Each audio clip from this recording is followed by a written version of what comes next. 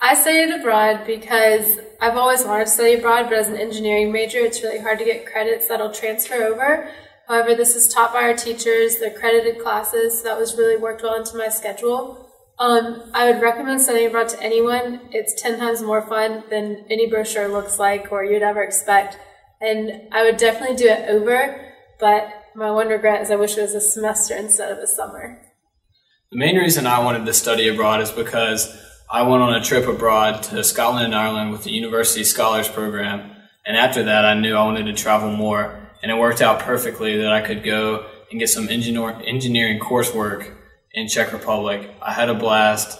I would absolutely do it again, and I would recommend any engineering student to do so.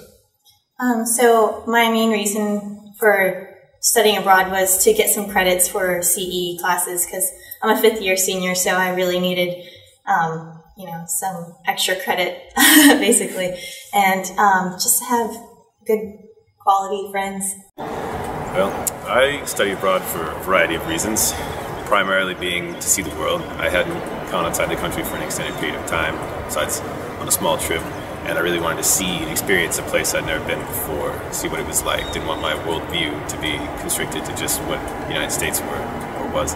Also, I um, it didn't hurt that I got six credit hours, got ahead in my courses, and I just wanted to experience something new, a life-changing experience.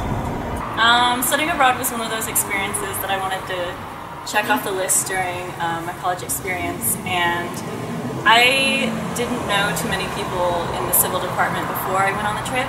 And now we're all really, really great friends, um, and I really, I really enjoyed the experience of um, exploring a new country with. So I studied abroad mostly because I, I had never been to Europe, um, so this was a completely different experience for me and it was a great opportunity to get some classes out of the way while at the same time doing some things I'd never done before. I knew I would have a chance to meet professors on a much more personal level, um, and overall, it was just a nice change of pace experience to a class. It was a great challenge for me to try to balance classes and, and having fun, and ultimately resulted in an outstanding experience for me. Um, I think for me, I mean, I was a sophomore in civil engineering. I didn't know too many people. I haven't really gotten at that point into my civil engineering courses, so having the opportunity to study abroad with all these, you know, older upperclassmen, um, hearing their experience at NC State and their course loads, and just talking about the curriculum um, and getting to know professors in the department, that was such a huge advantage. I feel like When I heard about the program, I figured it would be a uh, fantastic way to really get out into the world and take um, classes I needed to fulfill for my major. Um, and Dr. Rasdorf and Dr. Saraceno um, praised the trip and spoke highly of what we had learned. And um, after the trip was over, I had an immensely incredible experience. Saw parts of Europe I would, I would probably never see again. Um, learned quite a bit. And with the classes being so short, you really learn the material very well. It stays very relevant in your mind, and it's a really incredible experience.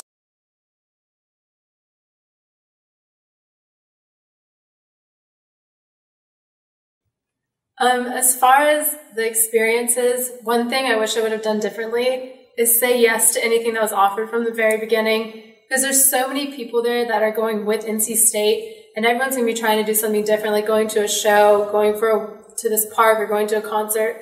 And so just say yes. If someone's like, I'm going to jump on a train and go to Terezin for a weekend, say yes if you want to go. Don't just sit at your place and do nothing, talk on Netflix or watch Netflix, talk to people back home because those people back home want you to have a good time. Also, a lot of the classes, there's going to be other classes there than CE, and a lot of those classes will go on field trips during random times of the week, and those professors would love to have you come as well. So if you ever hear about a class going to take a tour, like going to an exhibit, go ahead and talk to the professor and go ahead and jump on that free trip and experience a little bit more Prague. You know, treat it as if you'll never go back. This is a new place that you're going, and just do as much as you possibly can and maximize uh, the amount of fun you have on this trip. I would recommend to anyone once you get there, get some sleep, of course, but then start looking around, start finding stuff. You know, start talking to people, start meeting people. Don't let nerves or you know being afraid hold you back because just losing a day can end up making, making you miss something very important. If there's one thing I would have done different is uh, would have been planning. So a lot of us, when we got there, kind of planned our weekend travel trips right there during the program. So during class time, we would discuss what we're going to do, and was a bit rushed. So if I would do it again here stateside, I would meet with maybe some people that are going on the trip and decide ahead of time where we'd be going, because that way your ticket prices are cheaper, you have more kind of security and you know, peace of mind, and you're not rushing around during class time when you should be out visiting Prague to plan a trip. So.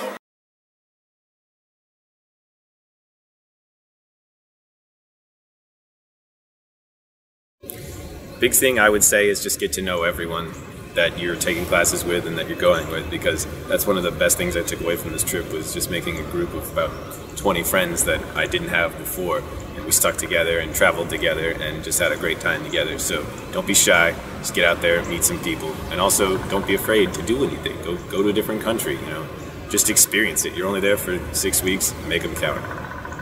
There are two main things that I took away from study abroad that I never expected to get from the experience. And one of those was just a whole new group of friends. Um, I came back and all my classes suddenly were basically everyone I'm in Prague with. I think there's eight of us graduating together now. And those are my new homework partners, my new go- new go-to people when I have problems. Like first people I invite to my parties, everything. so, I mean, I see these guys every day and I can imagine if I just didn't know them especially on that more personal level when you do study abroad and go through certain experiences together. Also, another thing that came out of it was when I was applying for my job, they were looking through and saw that I had my study abroad experience and they said, wow, you studied abroad. Like that's something we really look for because you're able to think on your toes. You're able to make decisions and especially like for construction or engineering type of environment, you can make quick decisions that are, you know, in situations you wouldn't expect to be in. The biggest thing I took away from the trip is how you develop personally. You learn a lot when you go to a completely unfamiliar place and you travel throughout the city, you meet new people, you're around new languages. And just being there, you realize that there's much more to life than what you're accustomed to. So I think one of the biggest things um, when we studied abroad, you know, you can travel to all these different countries. Prague is in the best location, I think, in Europe. Um, I mean, I went to Germany, I went to Austria, I went to Slovakia. There's so many countries you can go to, and you know, being in Prague, it's really simple for a student to get places. There's um, a student travel agency, and they will arrange, you know, a bus for you, uh, transportation. They'll help you find a hostel. Um, you know, it's very easy to arrange going somewhere on a weekend if that's what you're interested in, and that is something you know I highly recommend. You know, you're right there. You might as well go see other countries and experience different cultures.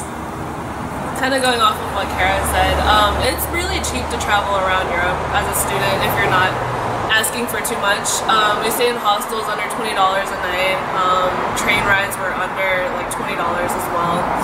Uh, I traveled to Austria, Berlin, and I traveled to London. London's expensive, but um, it was a lot of fun. Um, I definitely learned a lot of new things like how to communicate with people efficiently, even though they didn't know what I was talking about in English.